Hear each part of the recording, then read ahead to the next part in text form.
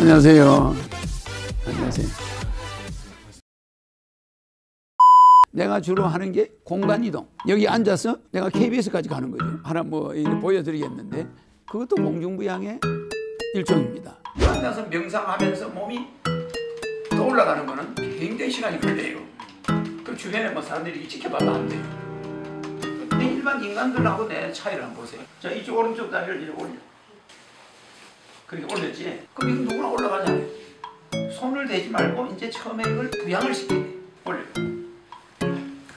아니 손을 대지 말아요. 자 보세요. 이게 공중 부양이 안 되는 거예요. 손을 대지 않고. 대지 않고. 이게 올라왔죠? 눈 깜빡할 사이에. 그럼 이게 이제 공중 부양이 올라가야 되는 겁니다. 안 올라오죠. 그 실제 내 나이가 이 사람들보다 많아요. 뼈가 더 굳었어. 그래도 내 몸이 날렵합니다. 근데 이런 체력을 가지지 않고서는 대통령 하기 어렵습니다.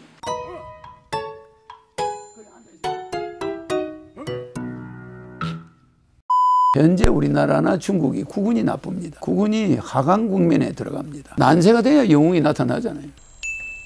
인터넷 대통령 했다가 또 요번에 유튜브 대통령이 됐어. 이제 사람들이 내 공약이 맞아 들어가는 걸 알거든. 옛날에는 해화대, 희화대상으로 삼았는데 이제는 실질적으로 다가오는 거야. 당선될 때 80% 정도의 지지를 받아야 돼. 나는 이번 대통령 캐치프레이드가 최소한 우리 국민이 돈 걱정 안 하게 해주겠습니다.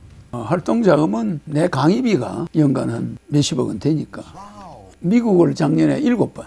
그 트럼프도 초청돼서 가서 만났죠. 트럼프 사인 있죠? 백악관에서 나온 사진이지. 가짜가 아닙니다. 요내 한, 이제 한 개씩 드릴게요. 어. 그뭐 어떤 사람들이 농담으로 트럼프가 내 사진을 들고 있는 거 이런 거 찍어놓은 거 그런 거는 진짜가 아닙니다. 그거는 사람들이 합성한 거지.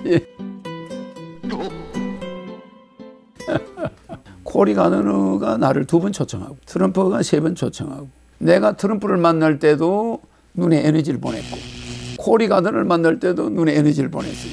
그래서 두 사람이 상당히 달라져 버렸어. 그 내가 전쟁을 할 수 없는 에너지를 실제 집어넣은 거죠. 네, 화이팅! 사랑해요. 허경영. 2022년 대선 나오는 거 확실해요? 어, 확실해요? 중고등학교는 한 과목만 시험 보고 수능 시험이 없어져요. 자기 잘하는 거 한 과목만 보고 또 군대는 모병제로 바뀌어서 남 여자 남자 다 갈 수가 있고 월급 줘요. 말도 못해요. 애들이 전부 내 지지자야. 청년님 새해 복 많이 받으세요. 건강하십시오. 예, 그래 고마워요. 오늘 바라봐. 내 눈을 바라봐. 너는 행복해지구라 있나?